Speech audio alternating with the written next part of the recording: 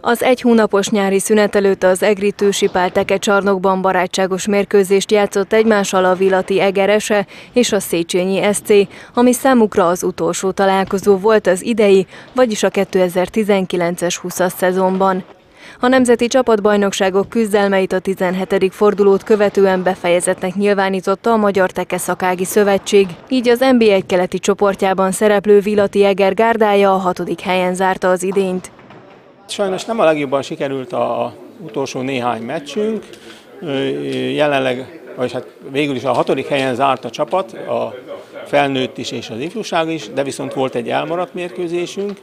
Az a felnőtteknek úgy nézett hogy nyerhető meccs lett volna, az előre léphettünk volna a negyedik helyig. A fiatalok sajnos nem, nem igazán tudtak volna előrépni, nekik az első helyzethez kellett volna látogatni. Az MB2 keleti csoportban érdekelt Széchenyi SC jó tavaszi hajrával a nyolcadik helyre jött fel. Ősszel gyengébben szerepelt a csapat, mint ahogy vártuk és szerettük volna. Tavasszal viszont egy nagyon jó szériába kerültünk.